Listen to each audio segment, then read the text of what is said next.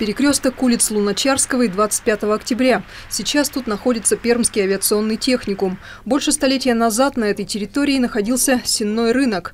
Его перенесли и на этом месте построили один из самых крупных и красивых храмов Прикамья – Воскресения Господня.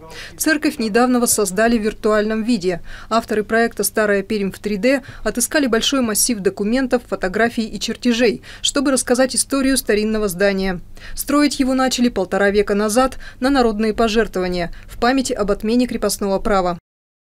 Началось строительство церкви.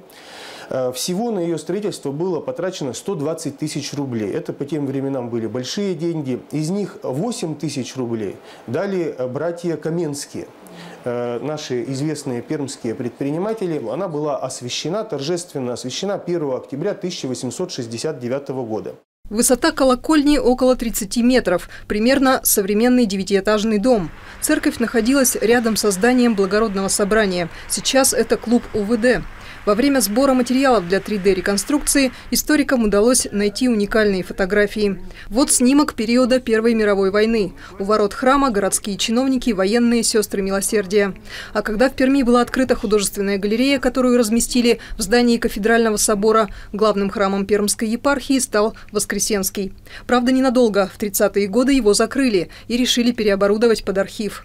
И вот э, было проведено обследование. Вот эти вот чертежи, они как раз э, чертежи э, значит, 30, середины 30-х годов. Вот видите, на этих чертежах мы видим план храма. Вот, и как раз вот эти стеллажи заполняют все внутреннее пространство храма. Это стеллажи для архивных дел. Они предполагали, что будет три этажа, и там мы разместим вот эти все архивные дела.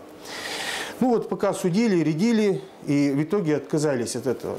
В итоге в конце 30-х годов здание храма снесли. По словам Андрея Маткина, скоро в интернете будет опубликована новая серия виртуального проекта «Старая Пермь в 3D». Она готова на 90%. В ней будут показаны все здания, которые до революции находились на пересечении улиц Обвинской и Вознесенской, а ныне 25 октября и Луначарского. Юлия Языкова, Михаил Ситров, телевизионная служба новостей.